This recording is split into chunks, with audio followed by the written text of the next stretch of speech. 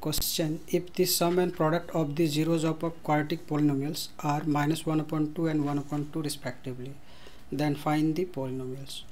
तो इस क्वेश्चन में क्वाड्रेटिक पोलिनोमियल्स के सम और प्रोडक्ट गिवन दिया हुआ है माइनस वन अपॉइंट टू और वन अपॉइंट टू तो हमें वो पोलिनोमियल्स फाइंड करना है let alpha and beta be the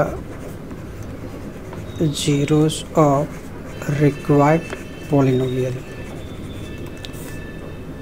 And according to the question the sum and products are given. So alpha plus beta equal to minus 1 upon 2 and alpha beta equal to 1 upon 2 therefore required quadratic polynomial.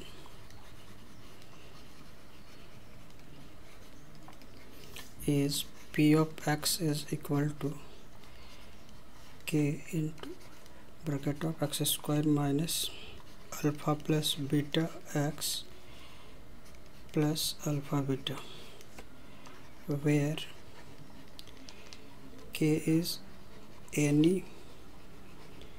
non-zero constant.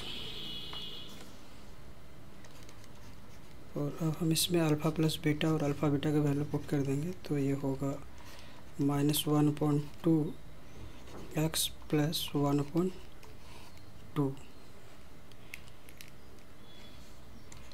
so k x square plus one point two x plus one point two और इसमें अगर हम एल्शियम लेंगे अब